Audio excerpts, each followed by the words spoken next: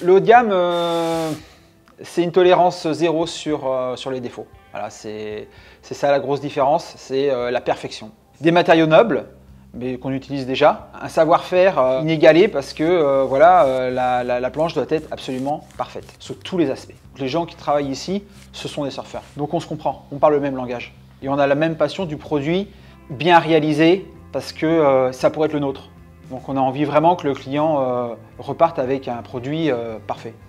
Shapers Club, c'est aussi un réseau international de shapers fédérés dans la région. On a tissé un lien euh, avec des fabricants aux quatre coins du monde. Donc on a des Australiens, on a des gens d'Afrique du Sud, de Nouvelle-Zélande, on a des Japonais, on a des, euh, euh, des, des, gens du Brésil, on a des, Américains, des, gens du Canada.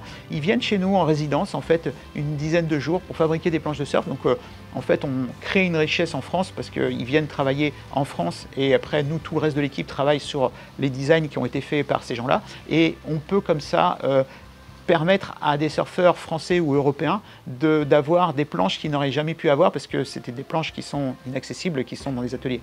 Après, ces gens-là, en fait, sont des gens qui ont marqué la culture du surf. Et c'est devenu, on va dire, un petit peu notre signature.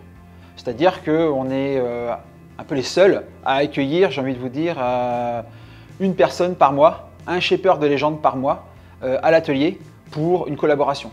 Moi, je reste un artisan, hein. moi j'aime fabriquer de mes mains, j'aime les prototypes, euh, j'aime bien euh, aller chercher des inspirations euh, qui ne sont pas forcément dans le surf. Voilà, nous, à la différence de, beaucoup d'autres, on est vraiment excentré la capitale du surf, Osgore, Biarritz.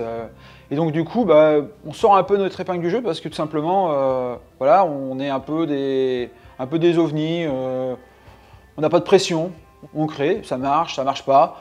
Puis voilà, on a nos, clients locaux qui, nous suivent, qui apprécient notre travail c'est fou de, pouvoir embarquer des gens comme ça dans notre rêve et, euh, de dire que euh, travailler sur des planches de surf, euh, ça, peut, faire vivre des familles, ça peut faire